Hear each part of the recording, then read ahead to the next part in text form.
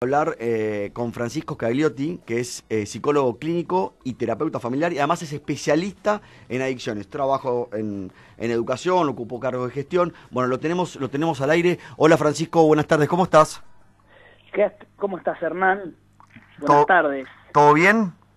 Bien, ¿vos cómo andan por ahí? Andamos muy bien, acá estábamos este, charlando un poco de, de la actualidad, de, más de la parte política, y te convocamos un poco, bueno, eh, siempre en el programa hablamos de, de- las consecuencias de esta cuarentena, de, de cosas que, que- trae y perjuicios que le trae a la gente, entonces nos pareció, nos pareció indicado hablar con, con un especialista en esto eh, y que nos cuentes un poco qué has notado en estos mm, más de cuatro meses de encierro con variaciones, ¿no? Porque tuvimos encierros más, más duros y otros más flexibles, pero ¿qué pasa con la gente, no? ¿Qué consecuencias le puede traer a la gente o le está trayendo eh, a las personas, al ciudadano común, digamos?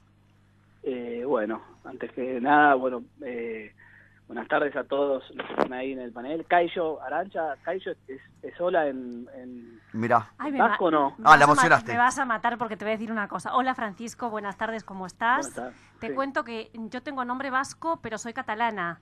Ah, Entonces, bueno. Aránzazu significa en vasco Ah. tú en el espino.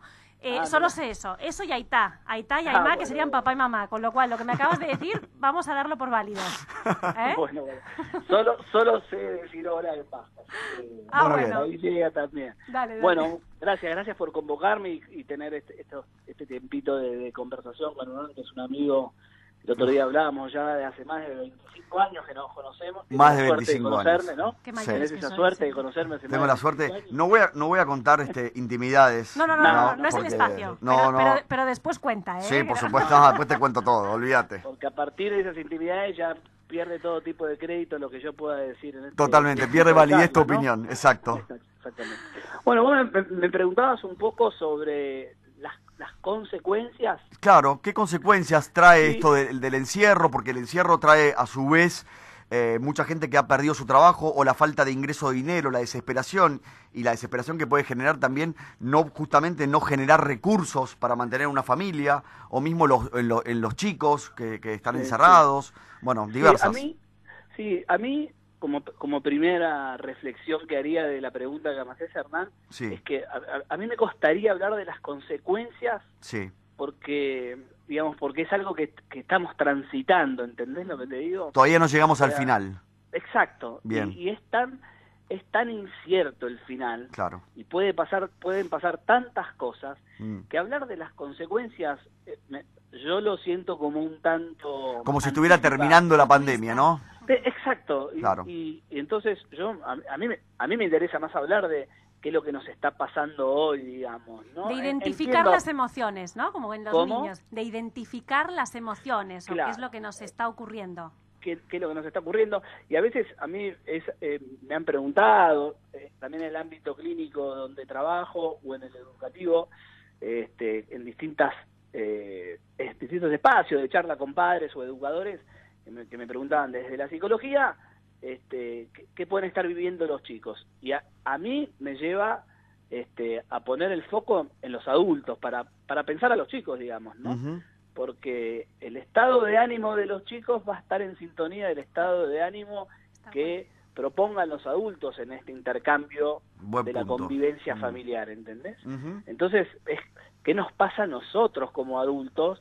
Porque en algún punto, al no, siento esto yo, yo todo lo que digo este, corre por cuenta mía, digamos, ¿no?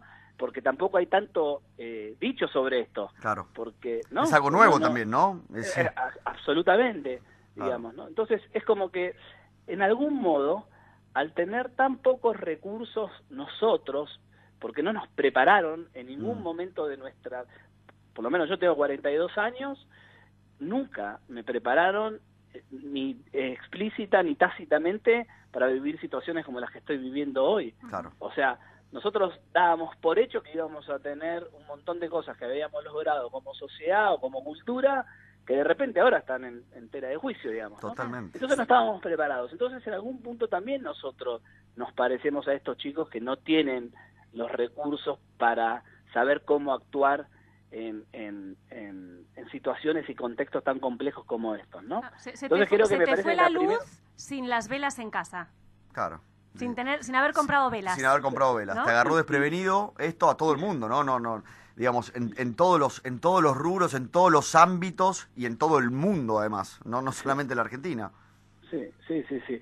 Y, y vos, fíjate que, digamos, parte de lo que nos da seguridad ante nuestra existencia eh, tan difícil de comprender muchas veces, es esas seguridades que vamos logrando en algún momento de nuestras vidas, ¿no? A veces porque intentamos eh, que tengan esa connotación, esa seguridad, y a veces no la tiene, pero necesitamos creer que va a ser así cuando nos casamos, por ejemplo, y formamos una familia y decidimos que con otra persona vamos a tener hijos y vamos a apostar a una vida juntos. Es una seguridad relativa en algún punto, porque te puede ir bien o te puede ir mal. te puede ir mal, totalmente. Claro, entonces, pero vos necesitas eh, asumir eso como una seguridad para dar estos pasos. Bien. Para adelante, ¿no? Entiendo. Hoy, no, sé si estoy siendo claro, digamos, pero hoy, digo, ¿qué, seguridades tenemos hoy, no? O sea, eh, dado este contexto. Ninguna. Hubo muchos muchos elementos que nos sirvieron para conformar nuestra vida y para tomar ciertas decisiones que hoy, no sé, están como mínimo eh, en stand-by, ¿no? En stand-by, stand claro. Y eso está bueno pensarlo, que nos, que nos genera a nosotros como adultos, ¿no? A mí me genera, a mí me genera algo que es, eh, y un poco refiriéndome a lo, lo, que estás diciendo, es esto que decís, la incertidumbre, o sea, no saber cuándo una, algo empieza o termina, y, y, en este caso, hablando de una pandemia, no saber cuándo termina, no tener un horizonte de cuándo podemos retomar, entre comillas, una vida normal, eh, en lo particular me genera por momentos algún, algún cierto tipo de angustia, ¿no? me imagino gente que por ahí eh, ha perdido el trabajo o, tiene los chicos en la casa todo el día. Eh, son situaciones, cada uno es un mundo, ¿no? Me imagino. Sí. Mira, para la terapia sistémica, este, corriente en la que yo me he formado durante muchos años,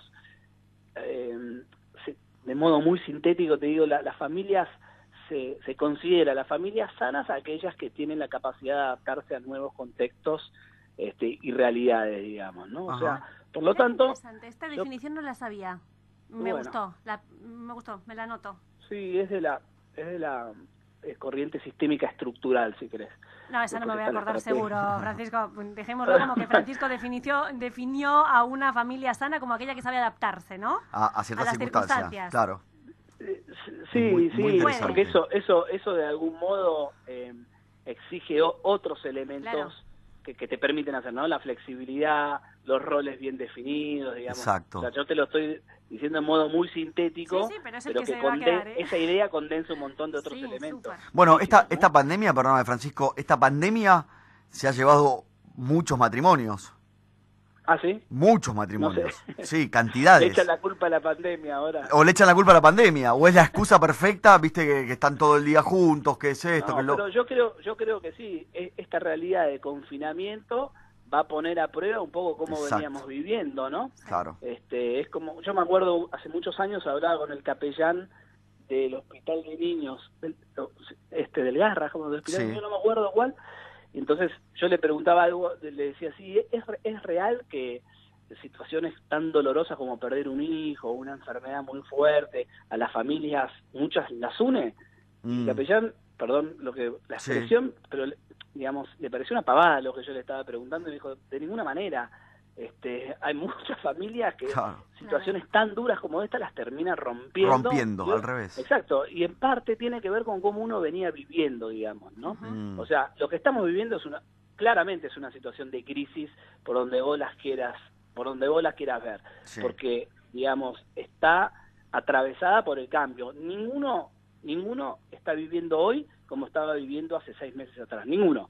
Este, por más que sostenga tu trabajo, lo haya perdido, este, pero eh, porque sin ir más lejos, en algún momento del día vas a estar pensando en esto. Totalmente. ¿Me, explico lo que voy? Entonces, es un elemento tan fuerte que, que, condiciona nuestra forma de vivir. Y parte de cómo vayamos a responder va, va a estar sujeto a cómo veníamos viviendo, porque así somos las personas nosotros tenemos en general cierta coherencia en la vida, tenemos una línea. Si ustedes se ponen a repasar muchas de las cosas de cómo eran como chicos, Mm. hoy probablemente las tengan de forma más moderada, quizás un poco más madura, pero hay muchos patrones que se van Es una repitiendo esencia, ¿no? en la línea de la vida.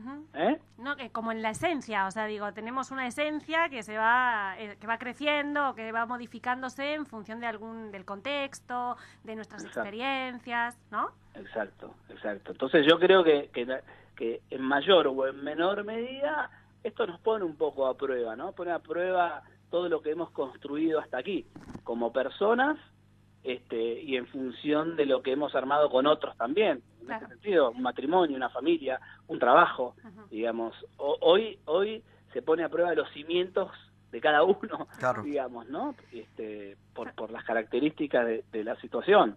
Francisco, tengo un comentario y dos preguntas. Yo me lo voy anotando porque es tan interesante lo que dices que cuando mientras lo vas diciendo se me van ocurriendo cosas como para ordenar y además me parece que pueden servir para nuestros oyentes que se vayan quedando como con cosas así puntuales. Me gusta esto que decías eh, de que en este proceso, o sea, que como es un proceso que estamos viviendo, nosotros tenemos que, mm, por decirlo de alguna manera, dime si es si, si tomé bien la idea, ¿eh? Identificar qué es lo que nos está ocurriendo, ¿no? Evaluar las herramientas y los recursos que tenemos para combatirlo, para hacerlo, para soportarlo, para llevarlo, para, no sé, para bailar con, con la situación y después actuar en consecuencia y en función de esas herramientas que tenemos. Podríamos decir que son como los tres pasos para poder primero identificar, identificar, evaluar y actuar. ¿no? Sí, ¿Podría ser Sí. así? sí. Ese es el comentario que me gusta. Sí, Fantástico. está bueno. Y después, la pregunta que tengo es la siguiente. Entiendo que en este, en este proceso, donde la gente ha necesitado o se ha dado cuenta que necesitaba ayuda profesional o como la, como la tuya, la que puedes ofrecer tú en, en esta guía, ¿no? en esta ayuda de la percepción de uno mismo, de qué es lo que nos está pasando, cómo vamos a combatirlo, cómo vamos a hacer, ¿han aumentado los, las consultas? O sea, ¿has Sí. visto un incremento en las consultas? Esta es una primera pregunta. Sí. ¿Sí? Me- Te voy contestando la parte, te, Sí, sí, te tú ves contesto una. sí. No, no, sí, claro, tú ves, es un, Ah. es un ida y vuelta.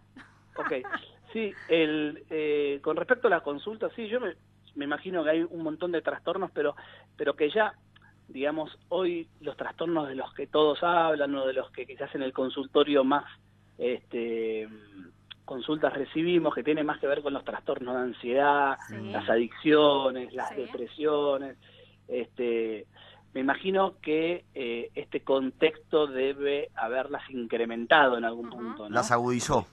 ¿Eh? Las agudizó. sí, exacto, exacto. Ok. Claro. Este, eh, Entonces, yo, yo, yo, yo las llamo eh, patologías del vínculo, digamos. A mí Sí. me parece que mm, eh, tanto las adicciones como los trastornos de ansiedad o las depresiones tienen como un denominador común que es esta que es esta dificultad de haber encontrado a lo largo de la vida ese encuentro verdadero y profundo con el otro que me haya permitido eh, elaborar y manejar las experiencias que me ha ido tocado eh, vivir a lo largo de mi vida de una forma más adaptativa. sí. Y la depresión, la ansiedad, ni Mm. que hablar la adicción, de algún modo comunica ese mal manejo de, de ese, de ese encuentro mío con estas situaciones que me ha tocado vivir, en su mayoría eh, eh, dolorosas o adversas. sí. ¿Me explico a lo que voy? Sí, sí, perfecto. Entonces, dicho esto, quiero decirte, y bueno, eh, partiendo de esa idea, y probablemente se haya buscado en profesiones como la mía, que soy psicólogo, esa, esa, esa búsqueda de, de, de poder en- dar respuesta a, A esto que hasta pasan. ahora eh, encontró el canal por medio de, si querés, eh, cuadros como la ansiedad o la depresión. Claro. ¿Me, me explico a lo que voy? Sí, sí. Entonces, no sé si Sí, estoy sí, todo claro. Sí, sí, claro, se entiende. desde perfecto. ahí, desde ahí yo me animo a decir que sí, que han crecido, digamos. Por otro lado, no, a mí te- les cuento lo que me pasó a mí. Ah, Hubo muchos pacientes que apenas nos, este, nos bajaron la cuarentena, prefirieron cortar las, la- Las las sesiones. sesiones. Sí. Sí, porque viste que no sé si ustedes hacen psicoterapia o hicieron en algún momento, hay una cosa muy fuerte en el BIM en ese momento, en esa hora que vos le dedicás Sí. de la semana este, a encontrarte con el otro que le presta atención a lo que te está pasando. Y a veces eso se puede reproducir en un contexto y en un canal tan distinto como es un, un, canal virtual, una videollamada, y muchas otras veces no. Y yo entiendo a los que no se sienten del todo cómodos, digamos. A mí me pasó eso un poco al principio. Claro. Al principio yo mismo dudé si yo iba a poder trabajar así. De esta manera, Lo que pasa es que hay muchos factores que intervienen. O sea, primero que a lo mejor en tu casa no tienes un espacio íntimo, donde estés solo, que, mm, que nadie te escuche, ¿no? Lo que estás comentando, cosas tan, tan íntimas y privadas con, un terapeuta. Y, y, por otro lado, mm, también el hecho de, de, salir, no sé, yo creo que vosotros hay cosas que os fijáis, como la postura, eh, la mirada, ¿no? Digo que que hacen al análisis de la persona, de, la persona y de la situación, ¿no? Y de, sí, total, de la connotación. Eh, sí, el famoso lenguaje no verbal. Claro, y también se puede, también se puede dar, digamos, haciendo un poco de futurología, también se puede dar lo, contrario, que digamos, una vez terminada, entre comillas, esta pandemia y que tengamos una flexibilización de salir, gente que opte por este, seguir en la, en la video. Este, bueno, los más ejecutivos, ¿no? Claro. Sí, no sé, no sé si te lo comentaba vos una vez que hablamos o, no me acuerdo con quién se lo comentaba por teléfono, que hay muchos pacientes que dicen, cuando se levante la cuarentena yo quiero seguir en esta bajo esta modalidad. Porque se toman una birra, se prenden un Claro, claro, algunos claro. Lo hacen desde la cama. están, están más relajados y pueden hacer otras cosas, no tienen que viajar hasta el lugar, moverse. Desde la comodidad por ahí, ¿no? Y sí, yo, digamos, desde los enfoques más tradicionales, o si querés verlo desde, ¿te acordás? Lo que eran este, los orígenes del psicoanálisis, el diván, esta cosa tan impersonal. Ah, el mundo fue cambiando. Fueron fines de, 18, de 1800 cuando Freud empieza a atender a pacientes y a entender que, que, hay un inconsciente que opera en, nuestro, en nuestra vida. Digamos, desde 1800 al día de hoy, y la realidad es que es un mundo totalmente distinto, ¿no? Cambió, pero claro, totalmente. ¿Y por qué los terapeutas no vamos a adecuarnos a algunos recursos que hoy la tecnología nos pone al alcance de la mano? Es importante, ¿no? De lo que decís, se, deberían adecuar todos a, a, estos eh, cambios, ¿no? Para, para, para mantenerse, digamos, en línea, por decirlo de alguna manera. Bueno, yo tengo pacientes que están en Australia y en España, por ejemplo. Claro. Este, y me da la posibilidad, ellos viajaron este, cuando estaban en medio del proceso por, opciones de vida y obviamente prefirieron eh, sostener cierta continuidad en el trabajo que venían haciendo y lo estamos haciendo a, por, a través de la, a través de la tecnología te, lo, te lo permitió. Eh, sí, igual entiendo entiendo que solamente lo van a comprender o quienes trabajamos de esto o quienes hicieron terapia que hay una cosa muy fuerte y muy personal en ese momento digamos no entiendo perfecto el que no el que sienta que que eso no se puede reproducir eh, a este nivel. Lo entiendo. Este, y, eh, me parece que es aceptable, ¿no? Está claro. Eh, Francisco, te vamos a tener que ir dejando, así ya terminando. La verdad que súper enriquecedora la charla, da, da, para seguir hablando muchísimo más. En lo personal, agradecerte, te conozco ya, como dijimos, hace muchos años. Prometo no, no decir nada nada fuera del lugar tuyo, ni las cosas que hacías cuando éramos chicos. Al menos al aire. Menos al aire te mandé mi presentación, dije hincha de Racing. Me, este, mandó, me mandó todo una fanático, un fanático de Racing, ah, este, sí. Y tiene otra parte que eh, no le hace, no le hace bien a, comentarla en público, ¿no? Yo lo conozco, lo conozco muy bien a esta persona. Pero, pero vos sabés que, digamos, me parece que los terapeutas, para ser buenos terapeutas, tenemos que trabajar con todo lo que somos, con, con lo bueno y con lo malo, digamos. ¿no? O sea, la única forma de vos ser verdadera herramienta para otro, más allá de todo el lineamiento que vos hayas podido incorporar a lo largo de los estudios, es poner en juego toda tu vida, toda tu forma de ser en ese en ese acompañar al otro. Yo lo veo así. Igual, igual modelos en donde se excluya esta parte de terapeuta. Igual Fran, para despedirte te digo una sola cosa más. Necesitaría un programa tipo ómnibus para hablar de todas las cosas que hicimos cuando éramos chicos. Así que mejor lo vamos a resumir. No, y te agradecemos en serio. Este, me parece muy claro los conceptos que vertiste y nos ayudás y ayudás al, al, a la gente que nos escucha a, ver este, un poco un poco más la realidad de, de estos tiempos de pandemia. Así que muchísimas gracias, Fran, y te mando un abrazo grande de mi parte. Abrazo, Y agur. Eh, un saludo Agur, para. Arancha también, perdón el, el furcio del inicio. No, hombre, no, que- agur, agur, yo te digo adiós, adiós, en- ahí también. Adiós. sé, ¿eh? Ah, mira, Agur, te, está- te está contestando, Sí, sí. te está contestando. Muy Sí, bien. sí. Bueno, bueno. Gracias por Gracias, Fran. bien. Te mando un abrazo grande. Saludos. Saludos. Bueno, fue Francisco Scagliotti, psicólogo, además, este, bueno, muy interesante.